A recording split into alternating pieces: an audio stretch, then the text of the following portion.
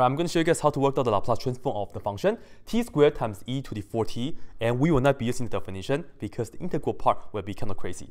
Anyway, as we can see, we have a product of two functions, namely t squared, and the other one is e to the 4t. And we are lucky because we have two really nice properties on how we can take care of multiplying by a function with t to some power, and the other one is multiply a function by e to you know, at, right? I will show you guys how to utilize those two properties and I will show you guys the harder way first. So this is the first way, right? Let's say I know for a fact that the Laplace transform of e to the 4t, this right here we know is 1 over s minus the a value which is 4. So 1 over s minus 4. This is what we have. But this is not what we want though, because we want to have t squared right here, right? And now here's the deal. Suppose you know this.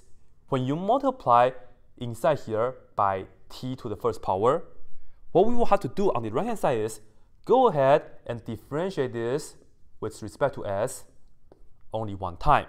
And don't forget, we have to multiply this by negative 1 one time. Okay, I multiply by t. This is what we have to do. But if you have t squared, okay, that means you multiply by another t right here, namely t squared, right?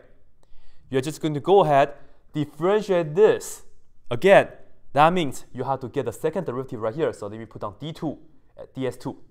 And also multiply by negative 1 one more time. So it becomes negative 1 squared like that. So this is now the equation, and this is now what we need to do. So let me put this down. This is the Laplace transform of t squared e to the 4t, which we know now, negative 1 squared, which is positive 1. We just have to go ahead and differentiate this twice, right?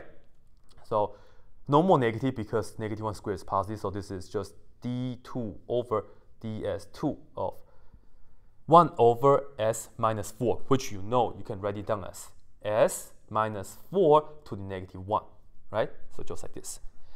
All right, uh, do it first. So you bring this to the front, minus 1.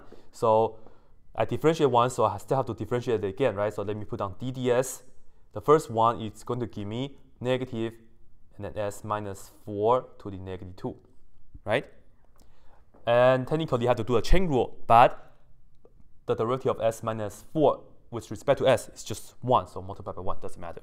Anyway, right here, do it again. So bring this to the front and then minus 1. So no more derivative because this will be the answer. 2 in the front, right, altogether because negative negative becomes positive 2. And then s minus 4 and then raised to the third power. Finally, I can put this down nice then nicely for you guys. All the two on the top over um, s, right? I'll put on the s in red.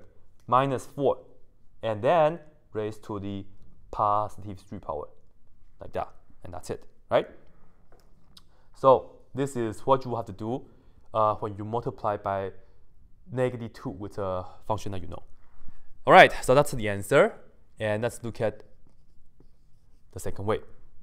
What if you want to begin with knowing the Laplace transform t squared? So let me show you. So right here, let me just put this down. Suppose I know the Laplace transform t squared like this first. And here the power is 2, whole number 2, right? So we can use that formula. This right here is the same as saying 2 factorial over s to the 2 plus 1, right? This is what we have. And now this is not what we want though. We need to multiply the inside by e to the 4t, right? So let me just put this down in the front, e to the 4t right here. Well, suppose the part in black is what we know already. Once you multiply the inside with e to the 4t, what do we have to do? All we have to do is, on the right hand side, instead of s, you just have to plug in.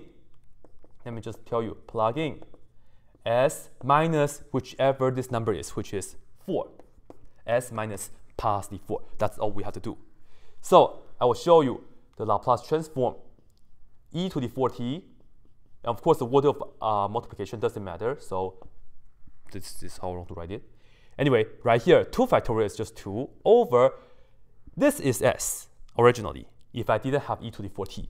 But now, since I do, I will plug in s minus 4 into this s. So I will have s minus 4, all right, raised to the 2 plus 1, which is, of course, the third power. And guess what? We are done.